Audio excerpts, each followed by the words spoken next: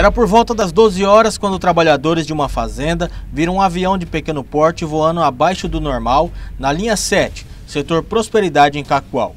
Quando em dado momento perceberam que o mesmo foi obrigado a fazer um pouso de emergência.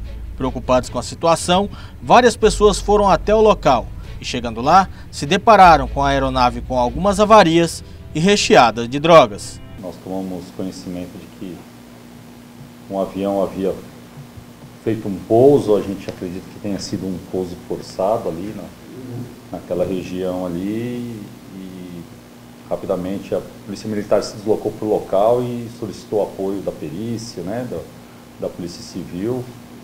Inclusive a Polícia Federal esteve também presente no local e foi encontrado aí cerca de 423 quilos de, de cocaína dentro do avião. Com a chegada de populares, os criminosos armados se aproveitaram da situação para roubarem um veículo. Policiais civis conversando com os moradores ali da região, eles notaram que um avião circulou ali alguns, alguns instantes ali antes, é, fazendo um barulho estranho, provavelmente uma falha, é, uma pane de combustível e, e viram o avião descendo, e aí os funcionários da, da fazenda foram lá ao local para verificar se havia alguém machucado, alguma coisa nesse sentido. Ocasião em que os dois elementos, as duas pessoas, os dois homens que estavam no, no interior do avião, pediram para eles que ateassem fogo no avião, que poderia é, queimar, que o patrão não ia se importar, que até pagariam, talvez, um dinheiro, alguma coisa assim nesse sentido.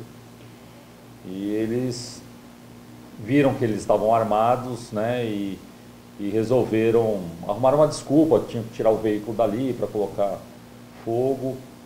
E enquanto isso, em razão da demora, a esposa de um deles lá pegou o veículo para se dirigir ao local em razão da demora, oportunidade em que ela foi surpreendida pelos, pelos elementos que saíram de trás de um barranco, ela não sabe explicar de onde eles saíram, ela foi surpreendida com, com, com a arma apontada para ela e levaram o veículo dela. Durante os trabalhos realizados pela polícia, foi identificado que havia algumas anotações em espanhol. O total da droga apreendido chega a 423 quilos e 200 gramas e pode estar avaliada em cerca de mais de 12 milhões. Alguns minutos após a fuga dos suspeitos, o carro que eles roubaram da vítima foi localizado na cidade de Rolim de Moura. O veículo foi localizado lá na região de, Rolim de Moura. É, nós, inclusive, fizemos contato com, com a autoridade policial de lá para preservar o local, para que fossem colhidas as digitais do veículo, no sentido de identificar essas pessoas e, e contribuir aí para as investigações da Polícia Federal.